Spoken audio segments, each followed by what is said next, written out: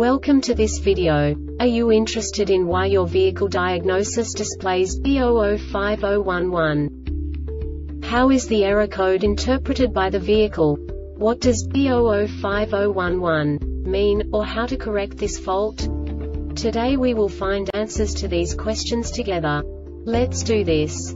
First, let's look at the history of diagnostic fault code composition according to the OBD2 protocol, which is unified for all automakers since 2000. We divide the electric system of automobile into the four basic units. Powertrain, body, chassis, network. This distribution is defined in the first character code.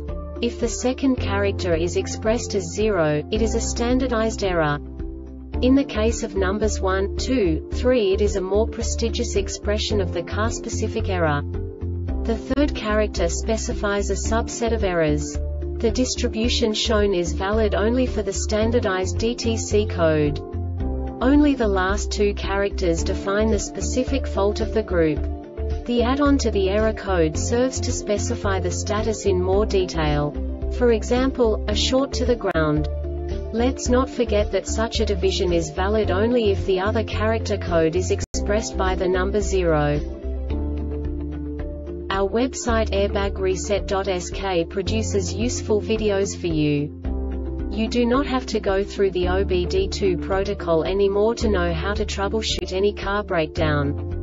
You will find all the diagnostic codes that can be diagnosed in a Dodge vehicles. Also many other useful things. The following demonstration will help you look into the world of software for car control units. You unbelievably can move the video a bit further. The error code is split into two bytes consisting of 16 bits. One bit is the basic unit that each computer works with. The bit has two logical states. 0, low level, 1, high level. By combining the first two bits, the basic character of the error code is expressed. The next two bits again determine the second character. The last bit styles of the first byte define the third character of the code. The second byte is composed of a combination of 8 bits. The first 4 bits determine the fourth character of the code. And the combination of the last 4 bits defines the fifth character. A single byte conceals 256 possible combinations. We now know in what way the diagnostic tool translates the received information into a more comprehensible format.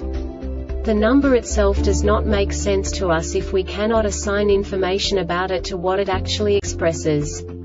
So, what does the diagnostic trouble code B005011 interpret specifically Dodge car manufacturers?